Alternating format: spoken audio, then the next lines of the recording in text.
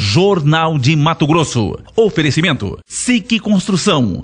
Construindo ideias. O refluxo é normal em bebês recém-nascidos com até 3 meses de idade. No entanto, os pais precisam ficar atentos, porque se ele persistir depois desse período, é preciso procurar orientação médica. Cristiane conta que a filha mal terminava de mamar e já começava a chorar. Além disso, demonstrava agitação, mas não chegava a vomitar.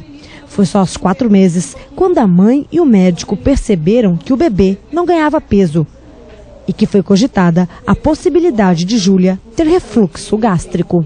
Após a mamada, daí começava, né? Ficar irritadinha, dormia uns 15 ou 20 minutos, acordava chorando.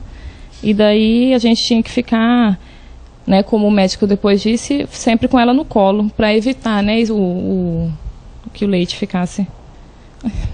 E aí você descobriu, então, depois que essa irritação era porque ela sentia um pouquinho de azia, de queimação. queimação do leite, né? O leite que causava, ficar, deixava ela irritada.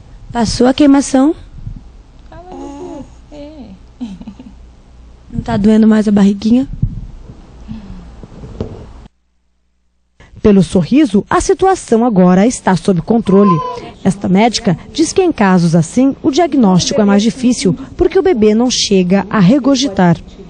Entretanto, ela afirma que, pela idade da criança, o refluxo já deve ser considerado doença. Isso é um, uma ocorrência natural nos bebês pequenininhos, nos recém-nascidos, até dois meses, normalmente você pode ter isso pela condição do bebê. Nós chamamos de refluxo fisiológico. Em algumas situações, o bebê pode ter sintomas adversos dessa situação, apesar dela ser natural. E esses bebês vão ter que ter um tipo de medicação. Após os três meses, se persistirem sintomas que são atribuídos a esse fato, ao refluir do conteúdo do estômago, aí passa a ser doença do refluxo, que é passível de seguimento e tratamento também. Os sintomas de Júlia devem ser observados por todas as mamães. A irritação e o choro se devem ao fato do bebê sentir o que os adultos chamam de azia, aquela queimação no estômago. A primeira dica dada pela profissional aos pais nunca acomode o bebê de barriga para baixo.